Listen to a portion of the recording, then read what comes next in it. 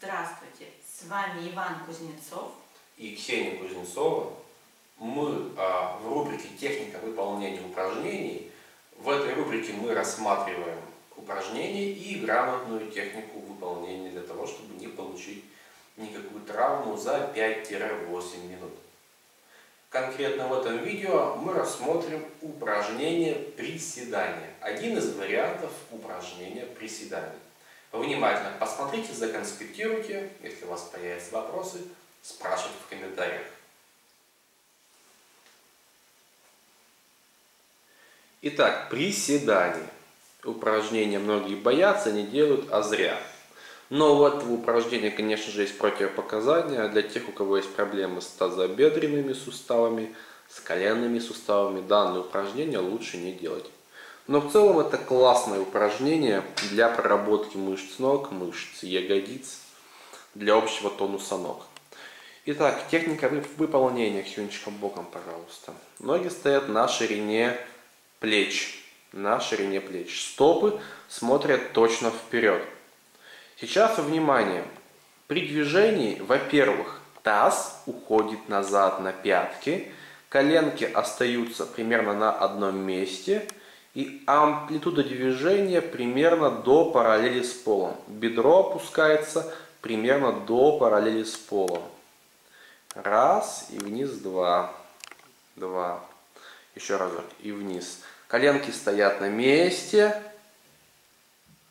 Вот так. Давай еще разок. При этом спинка у нас ровная. Два. И два еще разок. И вниз опускаемся. Коленки стоят на месте. Угу.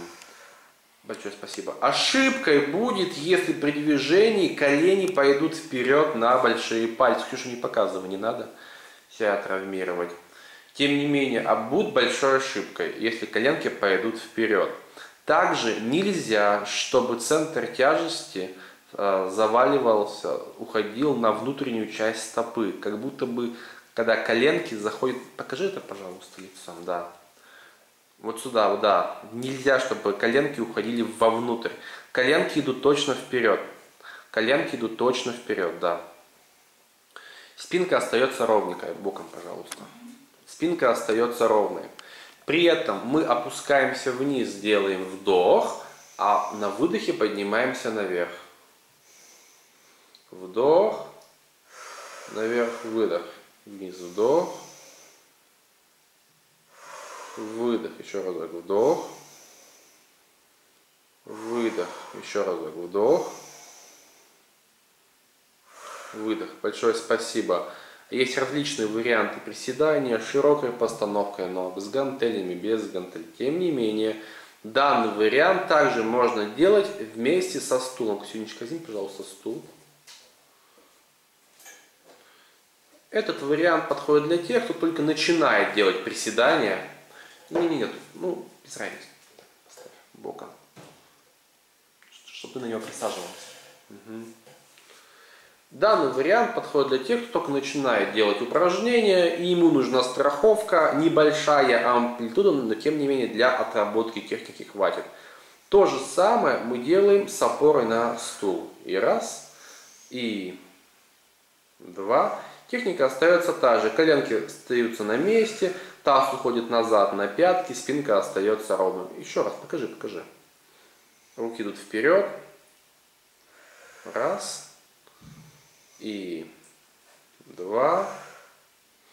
И три. И четыре. Хорошо. Большое спасибо.